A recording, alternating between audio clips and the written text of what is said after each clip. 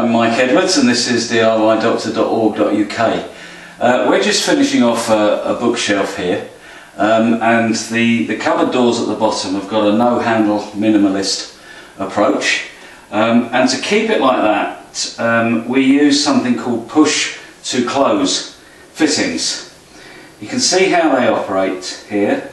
The door closes the plunger which in turn locks into place. When the door is pushed, the plunger is released and pushes the door open. Um, and this is how it works in uh, practice. You push the door and the plunger pushes the door open.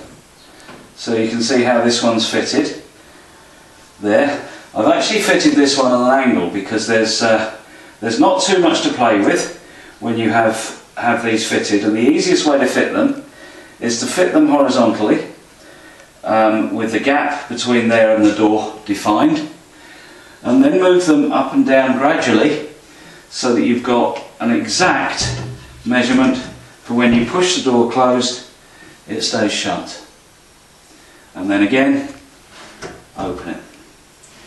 They're fitted very very easily by fixing this bracket to the side in the correct place and then the push to open fitting slides into the bracket and that's all clipped into place. That's a push to open fitting for a cupboard door with no handles.